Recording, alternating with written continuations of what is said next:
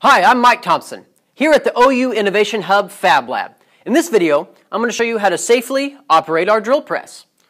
A drill press, of course, is used to make holes in things. We've got lots of different kinds of bits, and you can make lots of different kinds of holes. There's a few things you need to bear in mind, of course, when you're operating it safely. Always use safety glasses anytime you're in this room. Don't wear gloves with any kind of rotating equipment because your glove could get caught in the tool and it could suck you in and things could go very, very bad. And since we're in a soundproof room, we couldn't hear you scream. So please, definitely use this thing safely. Don't wear gloves. Always wear safety glasses. The two kind of bits you're probably going to be uh, using most would be Forstner bits and twist bits. We've got a bunch of them over here. Twist bits are what you think of when you think of a standard drill bit. It makes a hole in something. Forstner bits are these really fun ones. These make flat bottom holes, which are very, very useful for many different things. We've got a couple sets of these, uh, but they operate basically the same.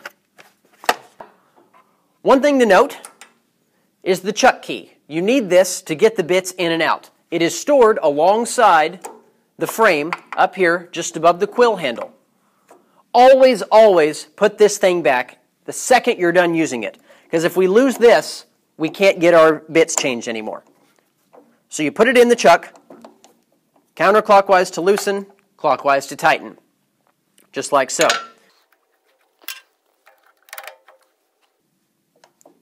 You would hope it would be totally keyless with this knurled part here on the chuck, but it's really not. You still have to have the chuck key to really get it in there tight. So then, on off is here. This thing over here is your depth stop.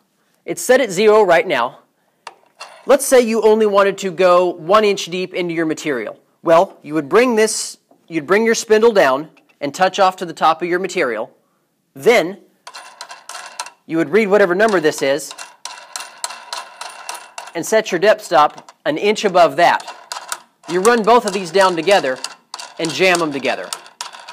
Otherwise, it'll tend to wander on you and you could be off by as much as an eighth of an inch uh, by the time you actually get where you need to go.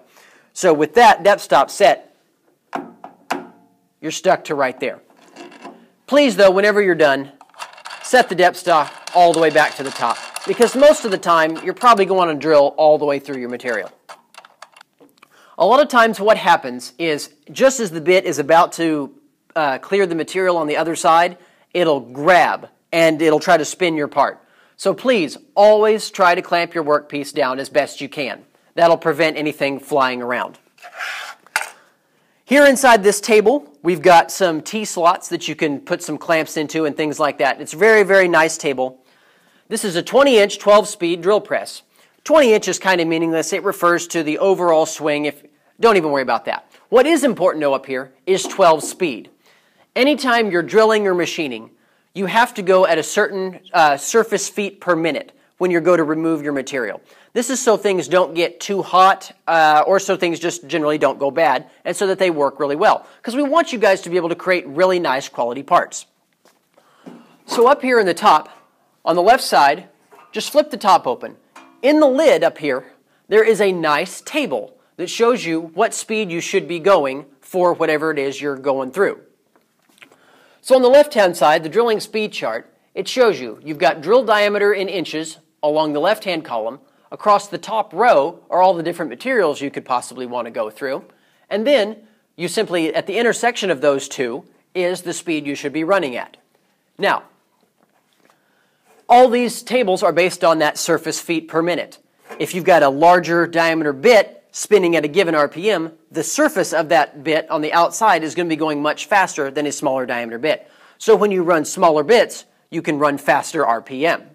When you run bigger, you need to go slower. Or if you're going to go deeper, you should also go slower. So to change the speed of this, on each side there are two little yellow thumb screws. Loosen both of those a little bit then on this side over here, where the uh, spindle handle is, pull this little silver handle forward. You'll notice that when this lever gets pulled, the motor slides forward. This releases the tension on the two belts up here. Now, if you're unsure Please always, always ask. You will not look stupid for asking. In fact, you'll look very intelligent for asking. You always have to go um, from large to small whenever you're trying to change it. You can't like take this belt and go to a larger pulley without going to a smaller one first. This table up here though is what I was talking about. On the left side here, you've got, in the left-hand column, it's got your drill diameter. Pick one that's close, um, but always err on the side of caution and go larger if you're unsure. Then on the top, we've got all the different materials we're going through. Typically in this shop, we're either going through wood or we're going through steel. In this case, I've got a quarter inch drill bit, and I'm going through wood. It's soft wood, so I can go anywhere in here. I come quarter inch, come across to the soft wood column. You can see that anywhere in here, this silver is 4200. Well, in order to get 4200, I come across to this table over here. I see 4200 is all the way over here. It's the fastest speed there is. In order to get that, it shows you the belt combination that you need to get there. So I'm at D411. Well, over here, you can see I'm one too high. So I can start by taking this belt and I can move it down. Remember, I have to go to smaller pulleys first before I can go back to bigger ones. I've got small there. I can take this one here on the motor back to one. Okay, so I'm 1, 1. Now I got to go D4. Well, that's the top of both of these. I got to go smaller first, so I have to do this one. Small, small. Great. Now I got to retension my belt. So I'll take this handle, slide it back as far as it'll go until I get good tension. In this case, it's all the way back. And then I'll tighten the thumb screw on both sides. To raise and lower the table, loosen the lock over here on the left-hand side, and then turn the handle on the right-hand side to raise and lower it. But just be sure to lock it back on the left-hand side once you're done moving it. Now, one other thing you want to do almost always, anytime you're drilling anything, is put a sacrificial piece of wood underneath whatever it is you're going to drill.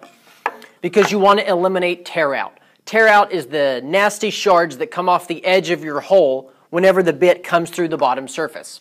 That's pretty much all there is to this. But like I said, if you're unsure about something, please ask us. I'm Mike Thompson, coming to you from the OU Innovation Hub Fab Lab. Please subscribe to our channel so that you can stay updated with all the cool stuff we've got going on here all the time. Come on down and see us. And what do you want to make?